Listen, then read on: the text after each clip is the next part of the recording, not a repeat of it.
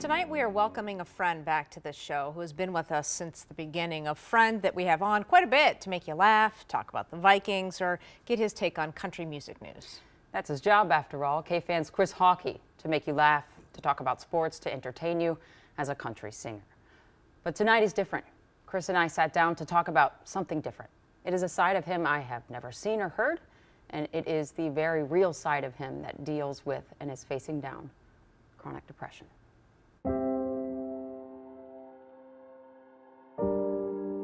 I've been dealing with depression for a long time. I can honestly tell you I can't remember when I wasn't dealing with it, even when I didn't know what it meant. I've become a pretty good actor, just like some of us do sometimes. Um, and it takes different forms throughout life. I, at one time, I gained a lot of weight. Uh, um, I've had is issues with gambling. I've had just, uh, there's something inside my brain that doesn't quite work right, you know? Why would you talk about this publicly?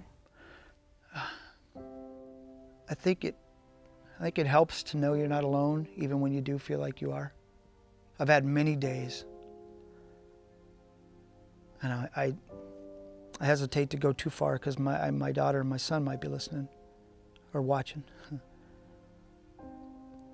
but I've had many days, you know, where you're driving down the road and you're in the spin, as my wife likes to call it, and you say to yourself, you know, I would never purposefully drive into a bridge, but if somebody swerved across the center line right now, that'd be okay, you know? So far, I've been able to uh, fend off the darkness. But there's a couple guys Chris thinks about quite a bit. A couple guys he had a lot in common with. A couple guys who weren't able to fend off the darkness. Soundgarden's frontman Chris Cornell and Linkin Park's frontman Chester Bennington. Both of them took their own lives this year. Somebody at work said to me in regards to Chester Bennington, uh, how can you have all your dreams come true and be a huge rock star and be depressed? And uh, it just hit me. This guy didn't understand. Chris needed a way to help explain, so he wrote his most personal song to date. I can tell you for absolutely certain it took me 17 minutes to write this song. It came out of me like a sigh. I, I um, like I didn't write it, like it was given to me. And so this song is called Happy, and it's not a cry for help, um, but it's an explanation um, to people who don't deal with depression from those of us who do. Man, with the world being the way it is, and Twitter and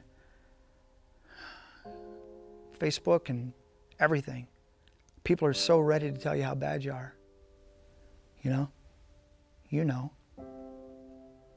To stand up there and look people in the eye and say, I'm broken. Especially when the guy who's on stage, you know, is supposed to be the guy who's got it all together and who's the cool guy, you know. That's tough. Maybe it's um, maybe it's what I was put here to do. Maybe so. I want to thank Chris for being the light in the dark tonight for everyone who knows how dark it can get. You can download his song on iTunes, Happy, or stream it on Spotify. I'll be right back.